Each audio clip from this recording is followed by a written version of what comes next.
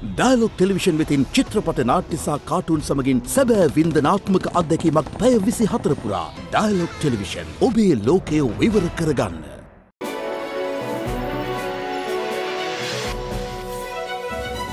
දෙදස් පහේ ඉඳලා අවුරුදු නමයක් ගිය. තමුන්නාසේ මොනාද කරේ? මං අහනව තමුන්නාසේ මොනාද මේ අමාත්‍යංශ තියෙන බලතල? මේ ඇමතිතුමා රටේ ඉඩම් ඇමතිතුමා වුණාට හෝටලයකට ඉඩමක් දෙන්න පුළුවන්ද? දැන් හෝටලයකට ඉඩම් දෙනවා නම් ආර්ථික සංවර්ධන අමාත්‍යංශයට යන්න ඕනේ. පොඩක් ඉන්නකො ඔබතුමා කලබල වෙන්න එපා. ඔබතුමාගේ පුතා තාම නිදහස් කරගන්න බැරි වුණා. මේ ආණ්ඩුවේ මොනාද කරන්න පුළුවන් ඔබතුමාට? මම විසිලා ඇමතුවා මං කියන්නේ ඊයරයා කොහෙද හිටියේ කියලා එනවා කිව්වා විතරයි සද්දය අවුඩු වුණා. ටක් ගාලා වාඩි වුණා. ආය කියන්න එතනින් හාට. තමුන්නාන්සේගේ අමාත්‍යංශේ මෙලෝ හත්තිලව්වේ වැඩක් කරන්න බැරි නිකන් හිස්ටින් එකක් වගේ ඇමතුමා. අඩුම තරමේ තමුන්නාන්සේගේ මාතලේ දිස්ත්‍රික්ක ඇමතිවරයෙක් ගිහිල්ලා ඉඩම් බෙදනවා. කවුද?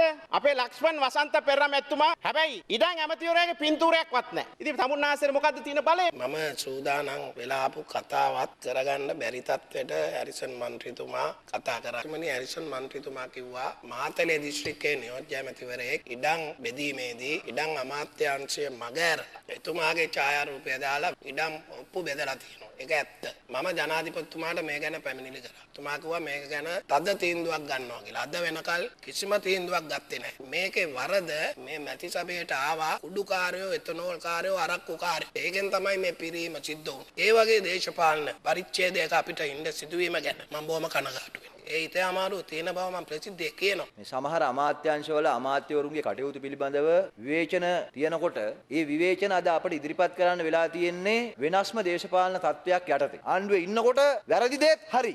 දැන් රතන හාමුදුරුව ආණ්ඩුවේ ඉන්නකොට හොඳටම හොඳයි. තමුන්නාන්සේලාගේ දේශප්‍රේමය වෙනුවෙන් ජාතික බලවේග ශක්තිමත් කිරීම වෙනුවෙන් තමයි උන්වහන්සේ ඉන්නේ. හැබැයි ඊට වෙනස් තීරණයක් ගන්නකොට ආන්න එතකොට වටලනවා, ගහනවා, පන්නනවා, එලවනවා, ෆයිල් අදිනවා ඔක්කොම කරනවා. එතකොට මේ ඉඳලා තියෙන අන්තිමටම එපාම කරු මිනිහ. ඔව් අපේ අධිකරණ මැතිතුමා නෑනේ. එතුමා සිරිත් පරිදි ඇවිල්ලා හැංගිලා.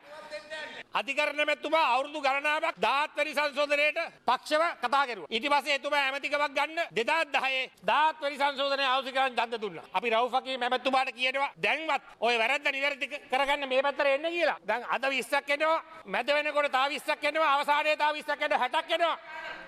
බලමු. බලමු 60ක් එනවා. මේ පේනවනේ පළවෙනි පේලියේ නෑ.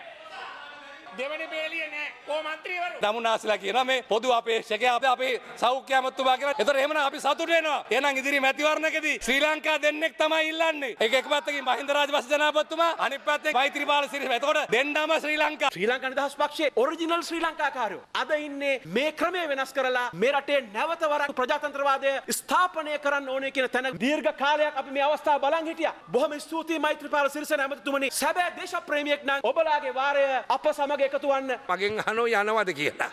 ඉතින් හරි කෙලියක්නේ යන විදියට මට වැඩක් දුන්නොත් ඒ වැඩේට මං එන්ට වෙනවා. යනයක් ගැන මගෙන් අහන්න එපා. මීට පස්සේ එකෙක්ක මගෙන් ඇහුවොත් යනවද කියලා අත්ත දිගෑරලා මූණ පුරා ගහනවා මම මේ අතේ. බොහෝම සන්තෝෂයි. බලන්න මර්වින්දී සිල්වා මැතිතුමා අවස්ථානු කූලෝ නැගී හිටන පුද්ගලයෙක්. ශ්‍රී ලංකා නිදහස් පක්ෂය අය මට පිහෙන් එන්නයි කියලා සිරිමාව බණ්ඩාරනායක මැතිනිය කිව්වේ රටට.